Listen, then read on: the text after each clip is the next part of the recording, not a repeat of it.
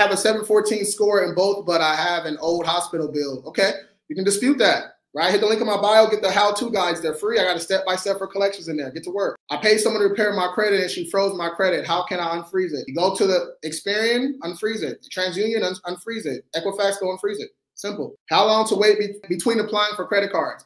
So if you got a credit card and they pulled Experian, go find you 10 lenders that pull from TransUnion, 10 lenders that pull from Equifax, right? Get your TransUnion one and the Equifax one. That's going to be one inquiry all the way across, right? You got three accounts with one inquiry across. Okay.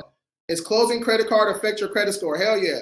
Look at you guys. What you're doing when you close a, a credit card with age on it, let's say the credit card had five years of age. When you close it, that age is gone. So that's why your score drops. And you have one less open account too.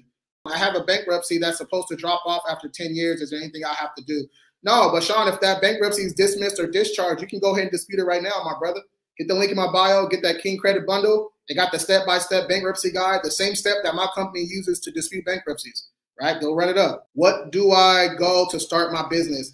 Kentrell, just to register and everything, go to um, Bizee, B-I-Z-E-E dot com. That used to be Incfile. You can type in incfile.com and, and Google and it'll redirect you to them. That's the, that's where I start all start all my uh, companies. It's real smooth and easy.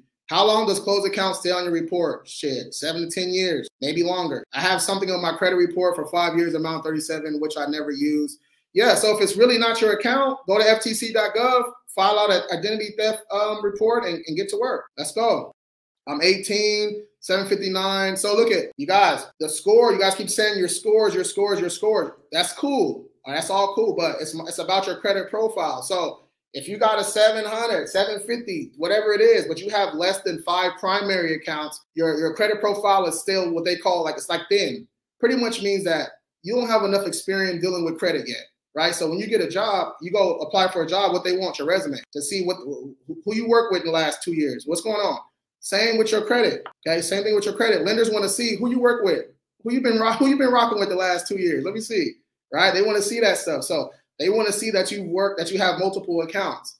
All right. You don't have to have a thousand of them. Just four or five is cool to, in the beginning.